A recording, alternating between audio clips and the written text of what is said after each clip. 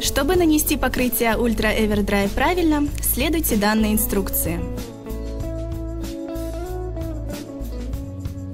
Для этого вам понадобится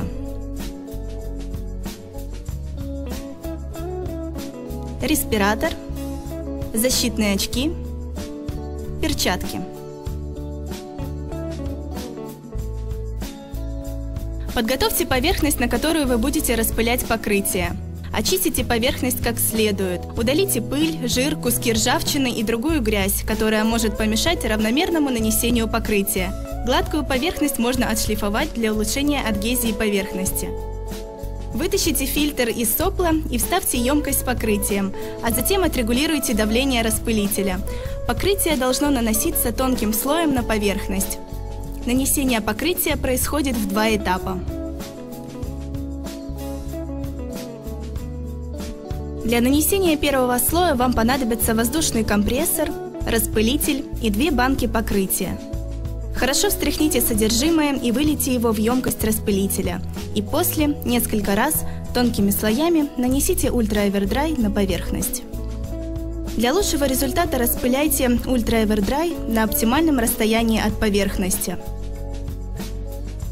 Дайте высохнуть 15-20 минут. Чтобы ускорить процесс сушки, можно использовать фен или струйную воздушную сушилку на низкой скорости.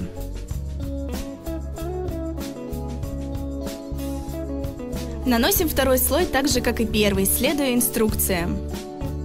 Рекомендуется использовать отдельный распылитель для второго слоя, если это возможно. Когда второй слой высохнет, поверхность станет туманного цвета.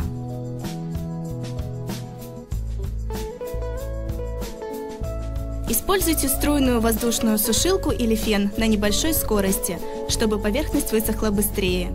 В течение 30 минут после нанесения второго слоя поверхность становится суперводоотталкивающей.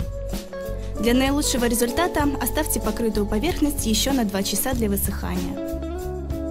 Когда вы все закончите, промойте все инструменты и оборудование ксилолом.